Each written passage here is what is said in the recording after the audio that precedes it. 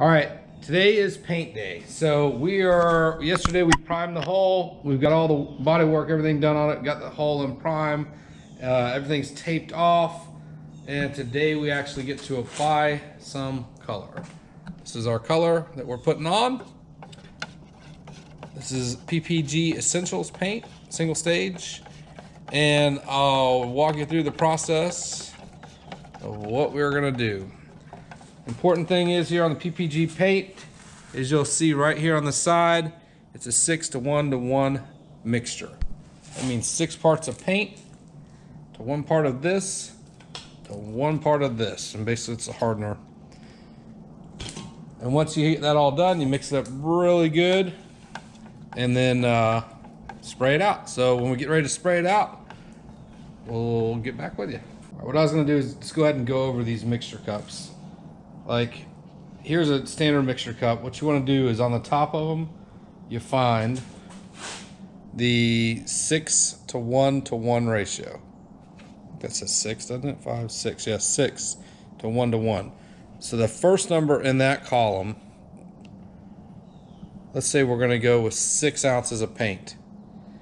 Then we move over to the next column we find our next six. So that's where we pour our hardener up to and then the next six is where we pour our next mixture up to. You mix it all up, and then you're ready to spray.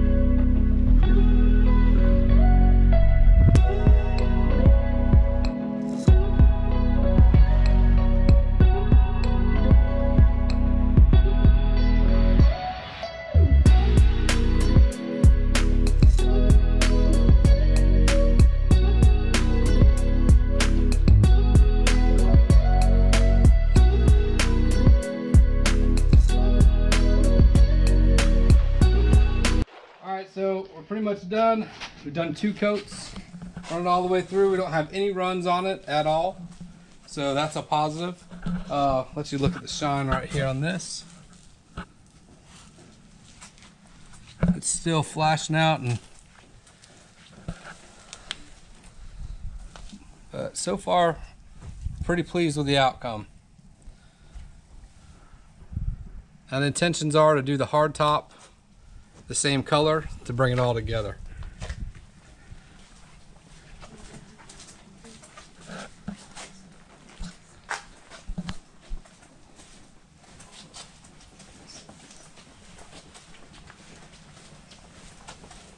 Hopefully our tape lines are all good and straight. Let's get done. There's the back.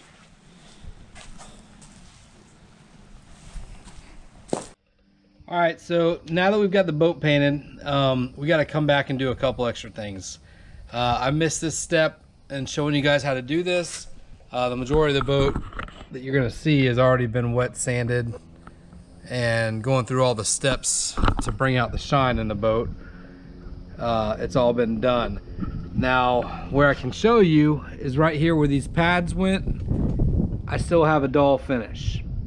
So what I'm going to do now is show you once you get done with that initial two coats of paint, um, we got to go back and do some wet sanding. So you're going to need a few things for this. Uh, I'll show you my tool list right here. So you need a bucket of water, a clean rag. That clean water is very important. Then we're going to go through a series of sandpaper. We're going to start out at 600 grit sandpaper. Then we're going to sand that down. Once we get that done, we're going to keep the surface wet the whole time. So it's good to keep it all, all the surface area wet the whole time. Want to make sure it's good and wet on there. Otherwise, you can burn through your paint. Now, so keep that surface wet. Have a good spray bottle to spray. Once we get done sanding at 600, then we're going to move to a 1,000. And once we get done with a 1,000, we're going to move to 1,500. And then we're finally going to finish off at 2,000. I'm going to run you through the process real quick. This sanding is not sanding to sand all the paint off. What you want to do is get all the rough area off. So it's only going to take a few seconds to sand it down. Uh, once you feel that it goes on very smooth and it's sanding smoothly, stop and move, you know, clean that surface area and move on to the next uh, grit of paper. So now that we have all our wet sanding done, and we'll go over it again, what we did was six, start out with 600 paper, then we're gonna go to 1,000, then we're gonna go to 1500 and we go to 2000. So that is my sanding regimen. Make sure you keep the surface wet the whole time. Uh, you should never be sanding on the dry surface. Make sure the whole thing is wet all the time. Once you've cleaned all that excess sand uh, or paint off that you uh, wet sanded, then we're gonna go into the next phase of it. So that's the polishing phase to bring out the shine. Now on this boat, we have the outside, everything you're gonna see, polished to mirror shine. Underneath of the boat, I'm kind of getting lazy. I don't need to go that far with it. Uh, but how I got all this that shiny, I don't know if you can see, you can pretty much see your reflection in the boat. Um, is I this is just Meguiar's that I use. Um, I started out with an Ultra Cut 105. Uh, you can get this at like Harbor Freight or uh, any auto parts store. But um, use the Ultra Cut compound, and that is I put it on with a buffer. And what you do with this is you just put it on, get you a clean buffing pad, make sure everything's good on there's no dirt. And you'll lay this on top of it, squirt enough out, smooth it into your surface, and then you can start buffing it out. Um, what I'm doing to the bottom of the boat, like I said, since you really can't see it that much, is I'm just going to use uh, the next one, which is the um, Ultra Finish Polish, which is the 205 in the Meguiar's. And I'm just going to put that on by hand, and then I'm going to use the buffer to buff it off. And uh, I'll show you the end result with that. After that, you would want to put the mirror glaze on it. So this is the number seven Meguiar's mirror glaze. Um, you can put that on there, and then after you finish up with this, you would put a coat of wax on it. So that's what you would do with the entire boat from wet sanding to, to get the polish out with the gel coat. All right, so now we have a finished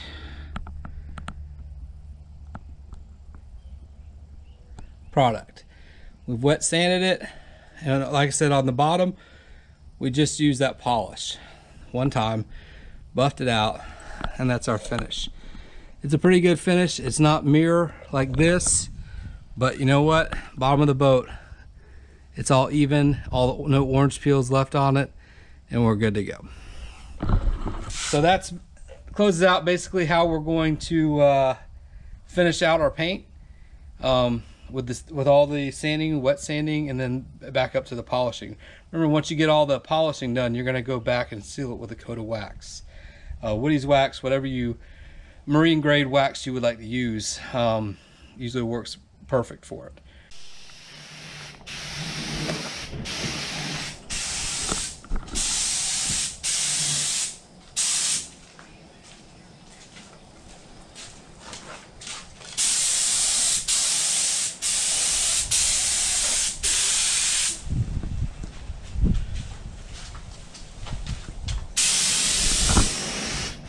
So this is our last part of painting. Uh, this morning we decided to sand this top down, sand the gel coat, rough it up, just like we did on the underside of the boat. Uh, sanded everything down, knocked the gloss off of it, and then uh, we did that with 220 paper. And uh, there's angles and curves and stuff you can't really get to, so you got to do a lot of hand sanding.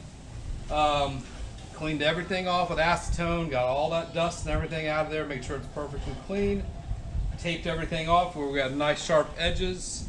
Uh, everything underneath that we want to keep the white gel coat is protected. And Um, we mixed the uh, primer, PPG primer, and then we uh, sprayed the thing out, two coats of that primer. And this is our first coat of this paint that's going down. Um, we got one more coat. We're gonna leave, let this flash for about 45 minutes, and then we're gonna mix up some more paint and hit it one more coat, and then we are finished up with the paint. Uh, we'll, then we'll look at it, see how much, uh, how it looks, how the finish looks, and how much we want to go into it. Do we want to get into the sanding like we've been doing, or do we just want to let it ride like this? So, um, you never know until you get done with it. Like I said, I'm no expert.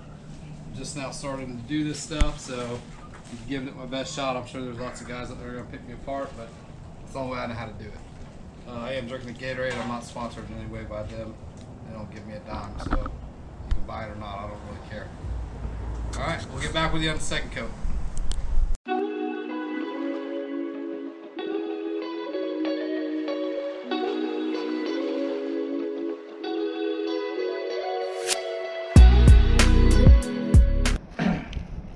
Right, so while that's kicking off over there, we just figured we'd come over here. I got the boat actually out in the sunlight and back on the trailer, as you can see. I think it's a few hours to do that. I really wish I would have taped that. It shows how comical it gets sometimes. But what I've done with this boat is uh, we had some areas last time to where it would hit up against here on the fenders and it would mess up underneath the boat. So of course, all that energy and effort I put into the boat, I don't want to take a chance of jacking the underneath up again. So we lifted the boat up another inch and a half, um, put new fenders on it, and we put, you know, put them at all level and perfect across there, so we don't have that issue anymore.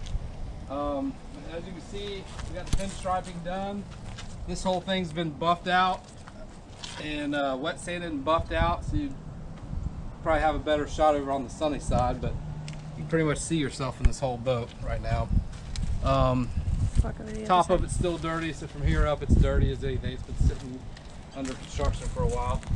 Uh, plan is for to finish up that top, clean up the inside just a little bit, and then uh, I'm gonna probably go ahead and buff out that console, get everything right on that, and then we're taking it to the guy that's gonna put the pipework together for the T-top. Uh, I'm gonna also take the hard top over, and he's hopefully gonna assemble all that, and all I have to do is wire it all up. Um, like I said, it's just sitting on the trailer right now. We have this nose piece that we still got to finish up. I think it's pretty much done except for one final sanding, a little more better shaping here on the edges, and then we're gonna gel coat it and bring all that back out. And then I'll put the I'll put this back on the rub rail. Uh, but otherwise, you can see it's coming together. My dive platform is all powder coated white. Uh, it'll be probably back in Wednesday or Thursday this week. And um, probably put that back on and we'll be set. So this is, give you a little glimpse. We're almost there. Probably about at the 50% mark right now where we're, what we have left to do. So we're trying to get this finished up. I'd like to have it done by June 1st, which is when we start scalloping and uh, Grouper. grouper fishing. So I think was scallop July 1st. July 1st is good. So we get over there and start grouper fishing about June 1st. So I want to have uh, probably about another month, month and a half. I need to have this done. There we go.